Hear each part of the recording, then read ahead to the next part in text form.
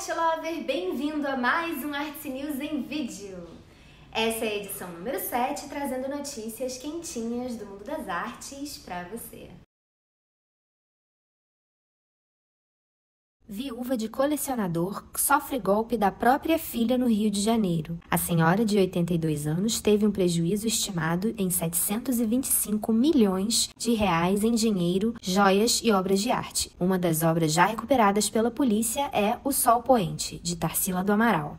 Perdemos o estilista japonês Issei Miyake. O mais matemático dos estilistas e também grande nome do design, foi o criador do famoso suéter preto de gola alta usado por Steve Jobs e o responsável por colocar o Japão moderno no mapa da moda mundial. Ele tinha 84 anos e sofria de câncer no fígado. Museus de Nova York serão obrigados a informar aos visitantes quais obras teriam sido roubadas pelos nazistas. A governadora Kathy Hochul assinou nova lei tornando mandatória a sinalização por parte dos museus. Cerca de 600 mil pinturas foram saqueadas do povo judaico durante a Segunda Guerra Mundial. Vem aí filme biográfico de Salvador Dali. Dali Land terá Ezra Miller interpretando Dali na juventude, Sir Ben Kingsley interpretando Dali mais maduro e contará uma parte da história do artista através dos olhos de seu ambicioso assistente James. O filme deve estrear no Festival Internacional de Cinema de Toronto no mês que vem. Família de Andy Warhol quer vender as primeiras pinturas do artista, da época da escola, nos anos anos 40. O sobrinho James Warhol e seus irmãos estão expondo as obras no site warhola.com e tentarão leiloá-las em breve. Sextou, Art Lover! Sextou com Arts News!